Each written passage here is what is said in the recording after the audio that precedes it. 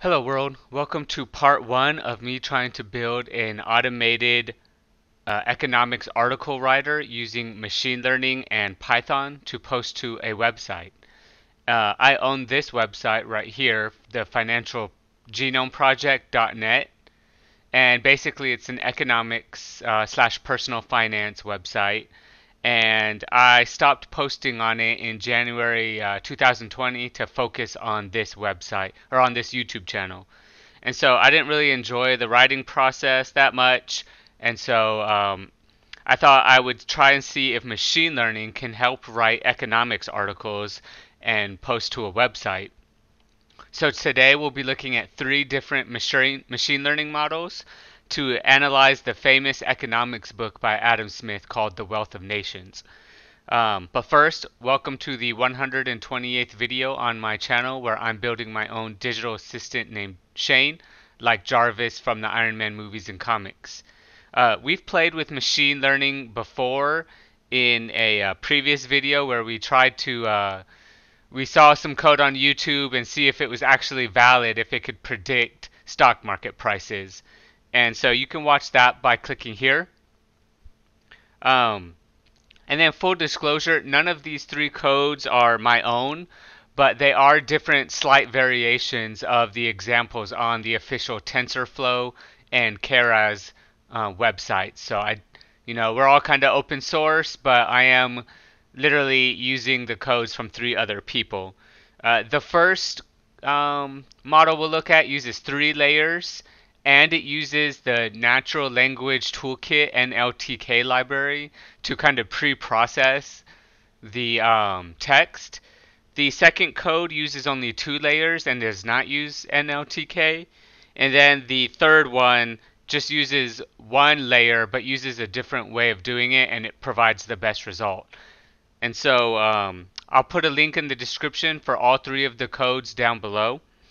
Uh, we'll run the third one together. Um, and since it provided yielded the best results, and the sec the first and second codes can take up to 20 to 30 minutes, maybe an hour, um, and that's because I have a gaming laptop. And uh, the second I start these machine learning models, the training, uh, my laptop basically catches on fire. So not really, but uh, fans turn on full speed, and uh, you could tell it's aggressively trying to compute. Um, so let's check out the third model together by NeuralNine. And so this one yielded the best results. And so let's just run it together. And what it's going to do is it's going to read this Wealth of Nations text. Um, that wasn't the best way to do it. Let, us look at the text real quick.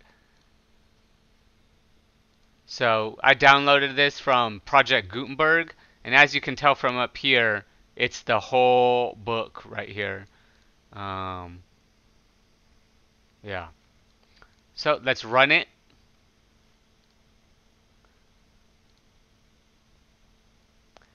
And so we're going to cover these warnings. I left these TensorFlow warnings on here, but some people will get an error saying, um, CuDart 64 110 DLL cannot be found. And then you'll get a bunch of errors. And we'll cover how to fix those when we go through the code. And so what it's going to do, it's going to run four epochs or training. And um, it's going to, and then I will cut to when that's over when it's done. All right, we're down to about the last 10 seconds of the epoch running, or the fourth epoch. And then it will process this and generate text, um, 300 characters, and we'll go over what this 0.8 means in a little bit.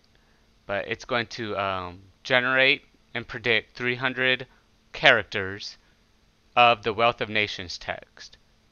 So the code says, of the people, the respective produce which is except as the laborians of more completers, the proportion would be their thry equal to carry they seems to have rate, which is a certain nameling.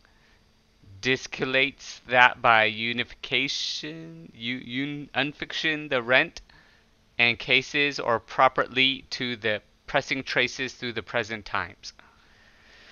Alright, so probably uh, not the most coherent uh, phrase of 300 characters, but again, that was only, um, and we'll go over through the model, but that was kind of a low level training model. And so let's go through the code together and kind of compare and contrast the three um, three different models we choose. So this one is from NeuralNine. Um, go check out his. He is one of the people I'm subscribed to as a fellow Python programmer.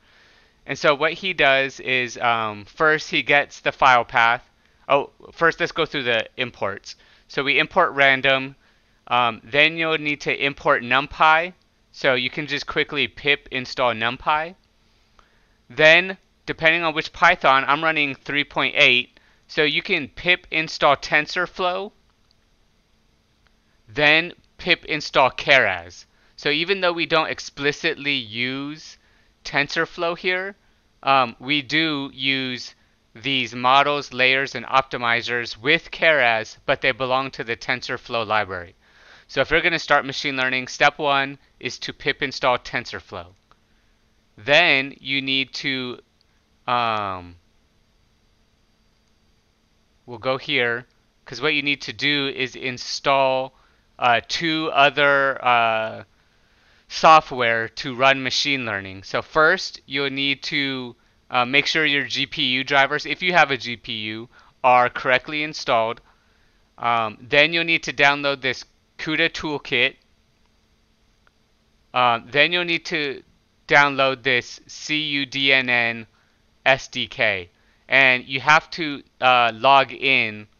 So you have to create an account to download this. So if you don't do all three of these, try to do them in order. So pip install TensorFlow, then install the um, here we go, the CUDA toolkit by clicking on here, and I'll leave a link to here in the description, and then download the cuDNN SD kit. All right. And then you can import these. Now, all three of these uses sequential as the model, right? So this first one is from Stack Abuse. This next one is from this Pranjal 52, and I'll leave links to these in the description. So we they all use sequential, right? And we use sequential in our machine learning stock prediction. Okay. Then they all use dense as the layer, right? Now we're building machine learning layers. Dense. But this is where they kind of change. So one uses dropout. The second one uses dropout. The third one, the one we just ran together, does not use dropout. They all use LSTM, which is the long-term, short-term memory model. And then not all of them use activation so you will have to, um, the first two uses the NumPy utilities. And then this one that I'm using now uses an optimizer called RMS prop.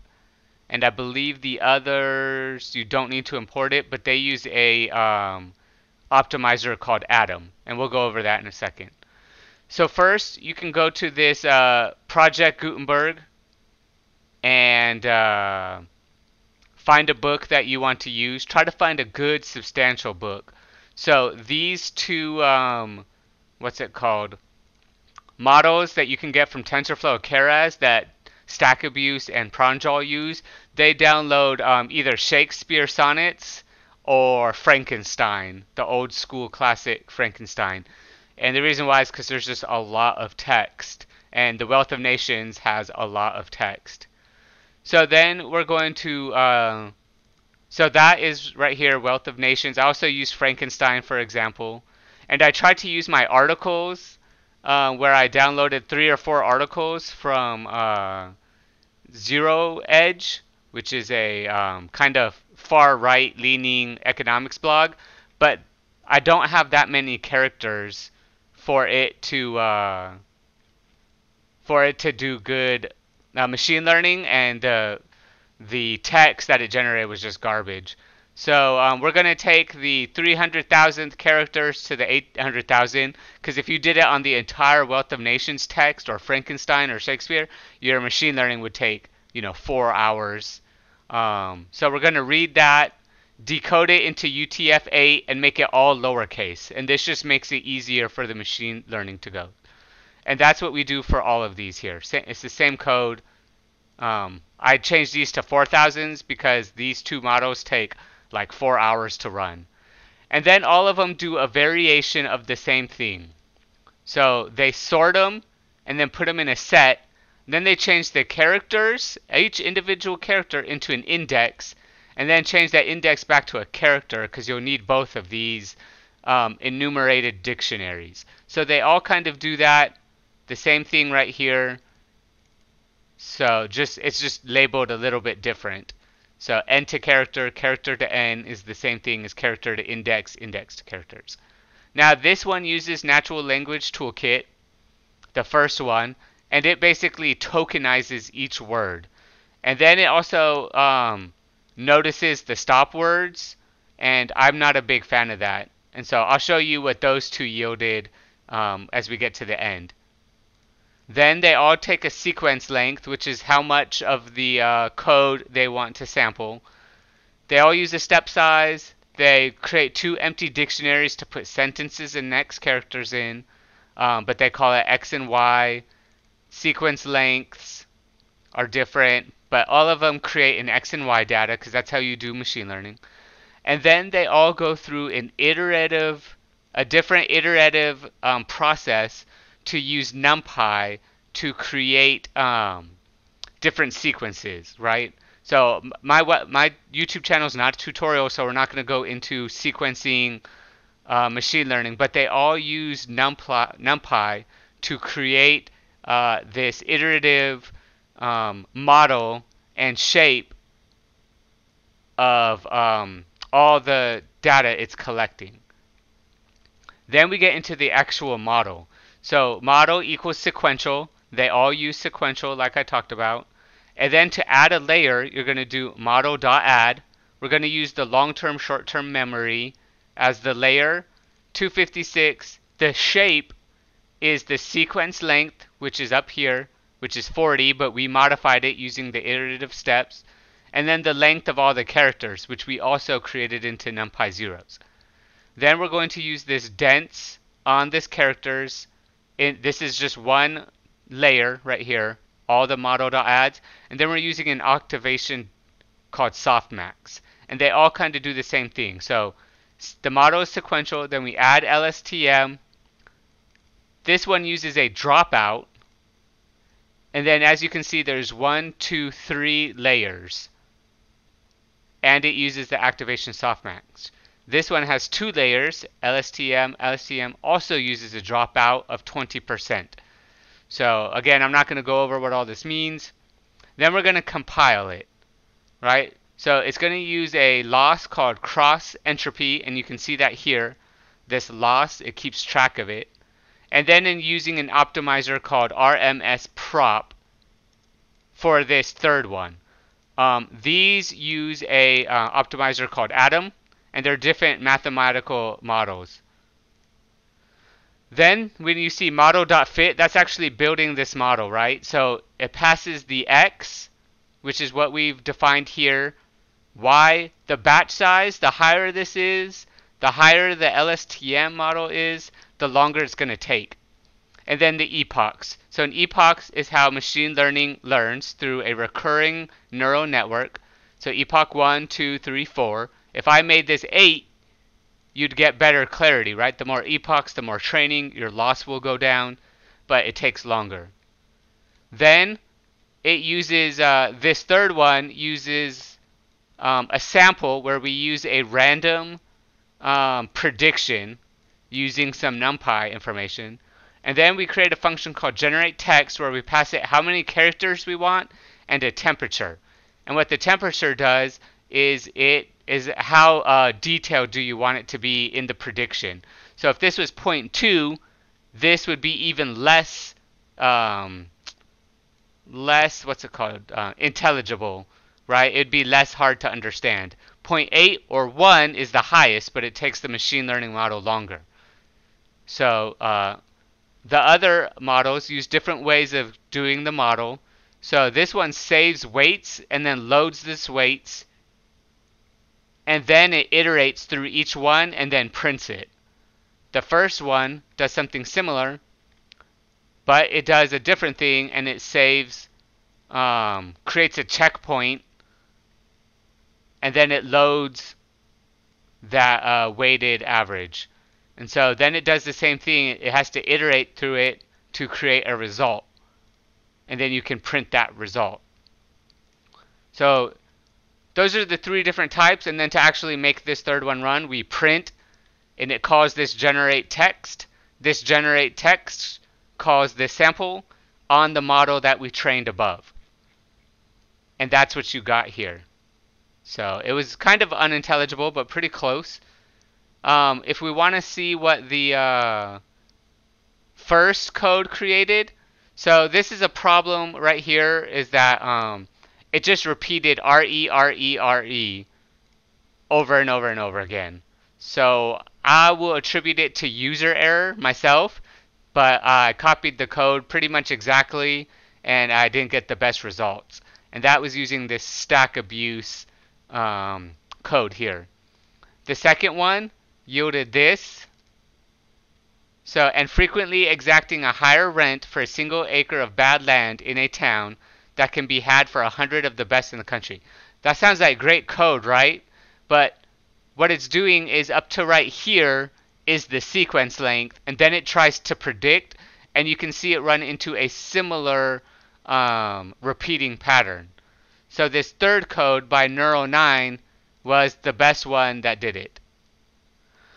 So that's pretty much an overview of this first part. So what we're going to do in the next part is we're going to automatically, probably using ScrapHi or Scrapy, uh, the library to automatically pull articles into a text file um, from Yahoo Finance, from where else are we going to go? Zero Hedge, and just create a huge text file of a bunch of um, current, because Wealth of Nations is not current, uh, current uh, monthly uh, economics information. And then what we're also going to do is refine this uh, model, right? So the next video will be more in depth, probably using this uh, NeuralNine's code to try to make it better and better and create something that's really intelligible. And then probably in the last part, um, we will actually post to WordPress because WordPress has an API and uh, I did a little bit of experimentation with that in a previous video. So I hope you enjoyed this video. Um, again, I'm not a tutorial, so I'm not going to go into this whole code. So go ahead and um, go to the links of the original uh, posters of this.